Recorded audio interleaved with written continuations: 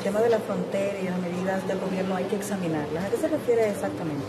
Bueno, yo diría, eh, les reitero, todo lo que signifique una amenaza a la soberanía nacional o a nuestra integridad territorial, reaccionaremos siempre en defensa de lo que son los intereses de la República Dominicana.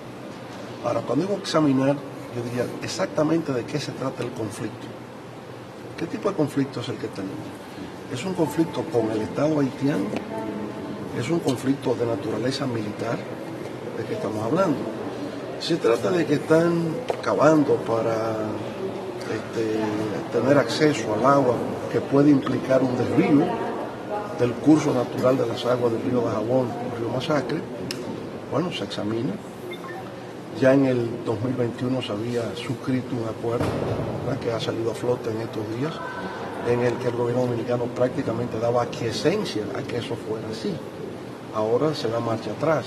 Creo que hay en ese sentido una falta de consistencia de parte del gobierno dominicano. O sea, no ha habido una sistematización y una consistencia en de qué es lo que se trata.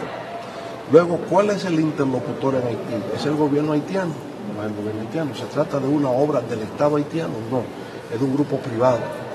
Entonces pienso que se puede llamar al embajador de Haití en la República Dominicana, hacerle referencia, que notifique a su gobierno para que ellos le pongan este, trabas, le pongan, en todo caso, suspendan la ejecución de la obra que se está haciendo del lado haitiano.